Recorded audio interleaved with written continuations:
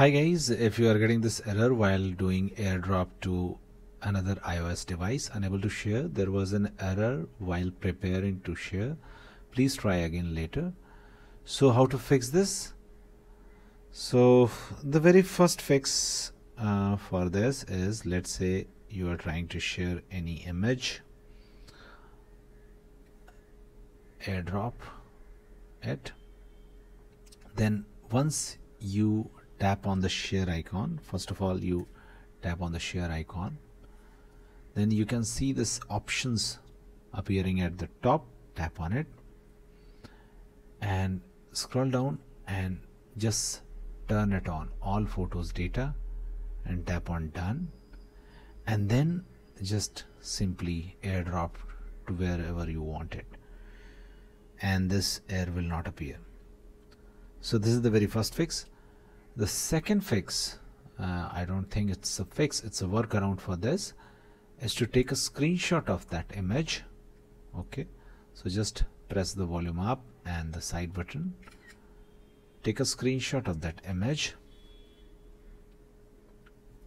and save it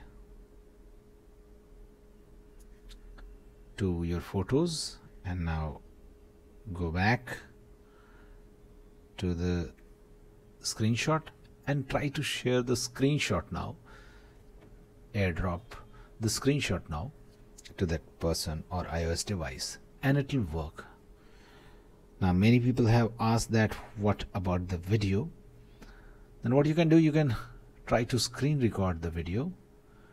So simply turn off the, uh, turn on the screen recorder. So how to go there? Just go to settings go to control center. And scroll down and find the screen recording option. Add it.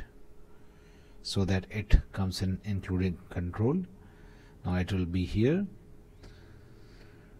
Now just locate the video. First of all open the screen recorder. Long press on it and make sure that microphone is not off.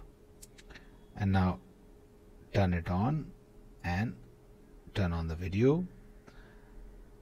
Once the video stop stop the screen recorder. And now edit the screen recorder to your desired length. Okay.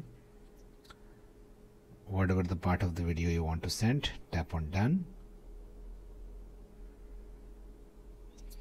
And now share it through airdrop that's it guys. Please do like the video to support us and thanks for watching the geek page